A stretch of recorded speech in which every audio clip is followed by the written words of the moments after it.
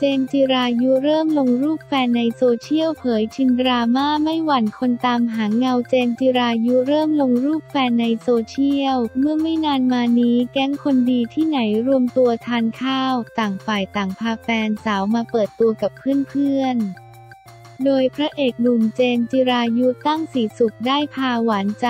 โฟม มาดินเนอร์ถ่ายภาพร่วมเฟรมกับเพื่อนๆ แต่แล้วก็ไม่วายเกิดดราม่าแฟนคลับบางส่วนคอมเมนต์ไม่เหมาะสม ล่าสุดเจนจิรายุให้สัมภาษณ์กับข่าวสดออนไลน์ เปิดใจเรื่องความรักที่ยังคงหวานอย่างต่อเนื่อง แม้จะจอดดราม่าระหว่างที่คบกันบ้าง ก็สามารถที่จะประคับประคองคู่รักให้มั่นคง เผยเริ่มเปิดตัวแฟนมากขึ้นแล้วความรักของเราตอนนี้ดีอยู่ไหม ดีครับดีๆอยู่เลย ยิ้ม อย่างในเรื่องพื้นที่ความรักก็จะชัดเจน เรามองว่าไม่ต้องเปิดตัวมากแต่ทุกอย่างก็โอเค เรามองข้อดีตรงนี้ยังไง ไม่แน่ใจเลยครับ เซฟโซนแฟนเราไม่ต้องยืนในพื้นที่สื่อเยอะ ก็อาจจะใช่มั้งครับ หรือว่าคือผมว่าผมอาจจะชินกับเรื่องนี้แบบนี้เฉยๆ คืออาจจะไม่ได้คิดว่ามันเป็นข้อดีหรือข้อเสีย คือเป็นมาตั้งแต่แรกแล้วใช่เป็นมาตั้งแต่แรกแล้วพอจะทำอะไรสักทีมันก็กลัว แต่ถ้าเกิดว่าทำไปแล้ว ผมว่ามันอาจจะปกติก็ได้นะ หมายถึงว่าลงรูปไปแล้วก็ลงรูปปกติก็ได้ หรือถ้าเกิดว่าลงรูปไปแล้วมี feedback ยังไง เดี๋ยวค่อยดูว่าเราจะต้องทำยังไงต่อไปดี แต่แค่มันยังไม่เคยและยังไม่คุ้นเฉยๆ แสดงว่าทุกคนเข้าใจในความเป็นเจมในวันนี้ ไม่แน่ใจนะครับ อันนี้อาจจะต้องฝากไปถามทุกคนว่าเข้าใจไหม บางคนก็เข้าใจบางคนก็อาจจะไม่เข้าใจจริง ๆ ก็ได้ แต่ผมก็รู้สึกว่านะโมเมนต์ที่ผมอยู่ตรงนี้มันก็ค่อนข้างดีสำคัญคือคู่ของเราคือเข้าใจกันและกัน ใช่ครับสำคัญตรงที่เรื่องของสองคนแหละ เพราะถ้าเกิดว่าเขาไม่เข้าใจเลย ผมว่ามันอาจจะอยู่ไม่ได้เลยณตอนนี้ฝ่ายหญิงเขาเข้าใจเรื่องเป็นข่าวหรือมีคนมาดราม่าใส่ไหม ตอนนี้เขาเริ่มชินแล้วครับ หมายถึงระยะเวลามันนานคือเลยจุดนั้นมาแล้วจุดที่แย่มาแต่พอเวลาผ่านไปเหมือนคนที่รู้แล้วว่ามันจะมีเรื่องนี้นี้เหมือนเขาเริ่มเข้าใจและชินแล้ว แล้วเขาเข้าใจไหมที่คนไปตามหาเงา ตอนนี้ไม่ค่อยมีตามหาเงาแล้วคือสมัยก่อนมีจริง ๆ แล้วก็ตอนนั้นก็ไม่เข้าใจจริง ๆ ด้วยพอตอนที่มีแล้วก็ไม่เข้าใจแล้วก็มีอีกแล้วก็เริ่มเข้าใจและก็ไม่มีใครตามหาเงาแล้วคือทุกคนรู้หมดแล้วไงทุกคนก็แล้วไง มีแบบลงรูปให้มันจบจบไปเลยไหมจะได้ไม่ต้องมีคนมาตามหา ตอนนี้ก็ลงเรื่อยๆ เดี๋ยวก็คงมีอีกครับ ไม่ได้ซีเรียสกับการถ่ายรูปหรือเวลาไปไหนมาไหนจะต้องปิดแล้ว ไม่ครับตอนนี้ไม่ซีเรียสแล้ว ก่อนหน้านี้เขาโดนโจมตีเขาเลยท้อหรือมาอะไรกับเราแบบไม่ไหวแล้วไหม ช่วงก่อนหน้านี้ผมว่ามีนะ แต่ตอนนี้คือเขาก็ไม่อะไรแล้วเขามองว่ามันเป็นเรื่องธรรมชาติของคนทั่วไป คนซึ่งสามารถคิดในวิธีการที่แตกต่างกันได้เท่านั้นเอง มันลำบากกับเราไหมความรักในรูปแบบนี้ลำบากไหมมันตอบยาก คือมันก็ชินไปแล้ว แต่ตอนนี้ก็พยายามเปิดให้มากที่สุดเท่าที่จะทำได้ คบกันนานหรือยัง เดี๋ยวผมต้องลองไปนับอีกที หัวเราะ สมมุติถ้าบอกแล้วไม่ตรงกันเดี๋ยวมีเรื่องอีก หัวเราะ ขอไปนับก่อน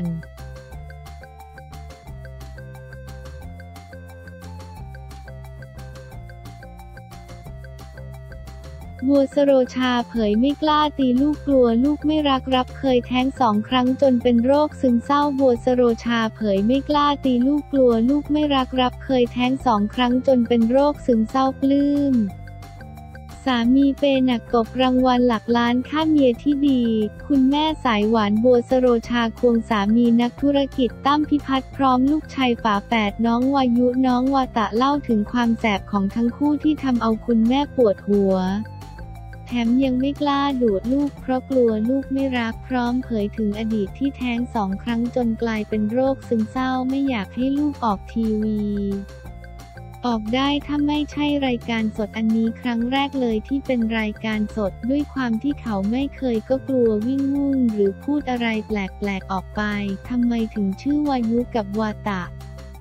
แปลว่าลมคุยกันระหว่างกลับบ้าน ถ้าชื่อแปลว่าลมก็ดี พี่ตั้มก็ไปคำนวณทั้งชื่อจริงเป็นชื่อเล่น ออกมาได้แบบนี้เป็นฝาแฝดขวายุเป็นพี่ทั้งสองคนนิสัยไม่เหมือนกัน อาจจะเป็นเพราะไข่คนละฟองด้วยเขาไม่ใช่แฝดแท้ เหมือนเป็นพี่น้องที่เกิดพร้อมกัน พี่น้องทะเลาะกันบ่อยมาก เรียกได้ว่าทุกชั่วโมงดีกันสักพักเอาอีกละน้องจะชอบแกล้งพี่ ใช้พี่เลี้ยงสองคนเลย ใช่ค่ะตอนเป็นเด็กเขาต้องการการดูแลตลอด กลัวเกิดอุบัติเหตุบาดเจ็บได้ ใช้คนดูแลเด็กสองคนถึงห้าคน แม่บ้านแต่ละคนก็มีหน้าที่หลักๆ ต่างหาก แต่ที่ดูจริง ๆ ก็คนต่อคนมันจะมีที่คนหนึ่งต้องไปพักบ้างแยกไปบ้าง ต้องหาคนมาสับเปลี่ยน เรื่องนี้ให้น้องบัวจัดการ เพราะถ้าเขาเหนื่อยจริง ๆ ก็ต้องหาคนมาช่วย เหนื่อยเหมือนกันพอมีหลายคนมีโอกาสให้เราได้ไปทำงาน การเป็นแม่เป็นส่วนหนึ่ง แต่ก็ให้ตัวเองมีความสุขด้วย คือตัวเราต้องมีความสุขก่อนถึงจะแบ่งความสุขให้คนอื่นได้อีกหนึ่งความสุขของบัวก็คือการได้ทำงาน ภาคภูมิใจในสิ่งที่เราทำแล้วสำเร็จ part หนึ่งเราก็ดูแลลูกอีก part เราก็เติมความสุขให้ตัวเองได้ทำงานด้วย พี่บีเมาท์ให้ฟังว่าบัวเป็นแม่ที่ประหลาดมากปกติแม่จะเป็นคนที่ขี้บ่นดุลูกแต่บัวกลับไม่เป็น เพราะกลัวลูกไม่รัก เคยคุยกับพี่ตั้มเขาก็บ่นเหมือนกันช่วงหนึ่งเวลาลูกซนบัวไม่กล้าดุจะตีไม่กล้าตีกลัวเขาเจ็บกลัวเขาไม่รักรู้สึกอย่างนั้น จนวันหนึ่งได้มาคุยกับพี่ตั้มเขาบอกว่าการที่เธอเป็นแบบนี้ เธอกำลังทำร้ายลูกอยู่นะ เราก็ฟังว่าจะเป็นแม่ที่เข้มงวดขึ้น จนได้ไปเจอคนคนหนึ่งบอกว่าถ้ามีลูกสักแต่ว่าจะมีไม่เลี้ยงให้เขามีคุณภาพก็ไม่ต้องมีจะมีไปทำไม รู้สึกเหมือนตบหน้าแรงแรงมาครั้งหนึ่ง ความจริงเลยครับควรมีสอนเขาวิธีทำโทษเขาเจอจุดกลางในการเลี้ยงลูกยังไง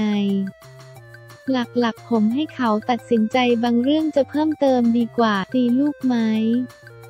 ไม่ตีข้าเราเลี้ยงแบบสปอยว่าตลอดเขาไม่รู้ว่าเราจะเอาจริงเลยรู้สึกว่าวันนี้แหละ คือมันมีการบ้านด้วยทำอยู่นานไม่เสร็จเลยรู้สึกว่าไม่ได้ลูกต้องทำหน้าที่ของตัวเองให้เสร็จ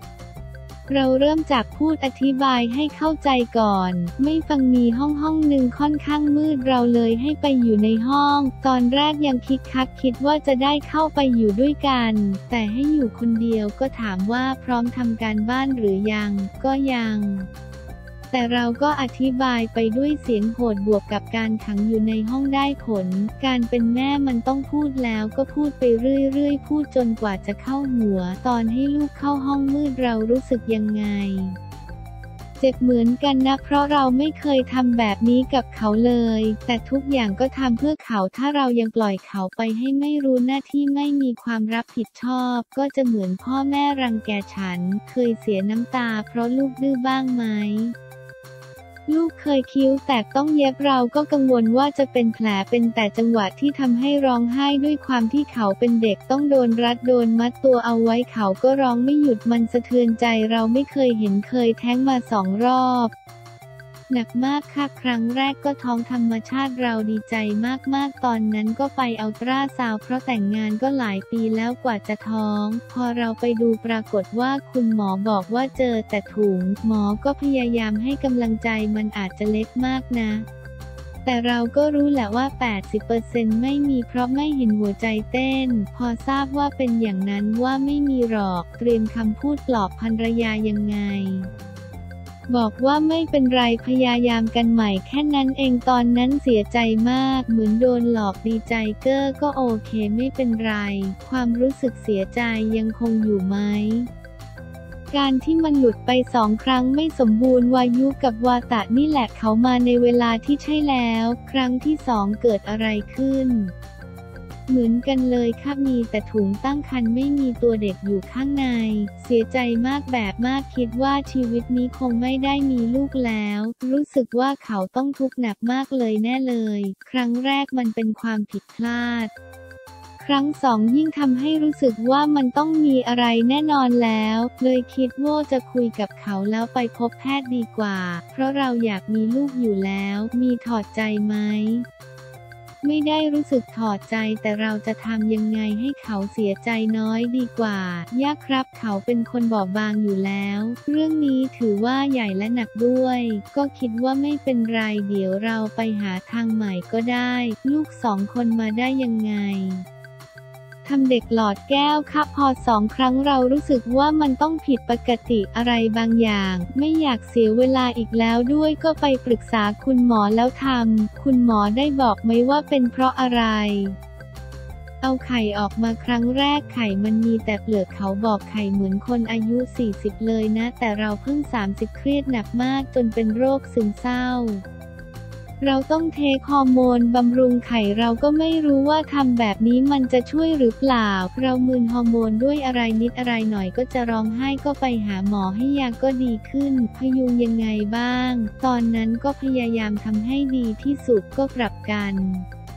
อยากมีลูกอีกคนหนึ่งเขามาบอกว่าจุดที่จะทำให้ไข่เขาสมบูรณ์ตอนนั้นมันเครียดมากนะ เราก็เพิ่งรู้ว่ามันเป็นเยอะตอนท้องแพ้ท้องหนักมาก อยากจะอ้วกต้องทานไรตลอดอะไรที่ไม่อยากทานก็อยากทาน เครียดเรื่องลูกมากจนต้องบอกว่าบัวรำคาญ เขาเป็นคนที่น้อยใจลูกเก่งเครียดมาก แต่อาจจะไม่ได้พูดทางตรงอาจจะเป็นทางอ้อม บัวชอบไปนัวเนียเอาอย่างนี้แล้วกัน ชอบแตะเนื้อต้องตัวเขาก็จะแบบร้อน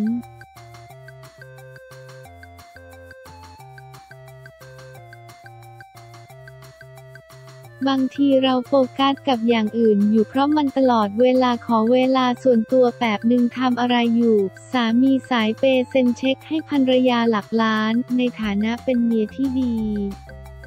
ตั้งแต่เพื่อนผมเห็นเพื่อนผมโกรธผมใหญ่เลยไม่มีอะไรเราได้เงินมาก้อนหนึ่งก็แบ่งให้เขาเขียนน่ารักรักค่าเป็นภรรยาที่ดีแม่ที่ดีเราเขียนให้เขาเล่นเฉยเฉยๆเขาคง happy เอาไปลง เพื่อนโกรธยังไง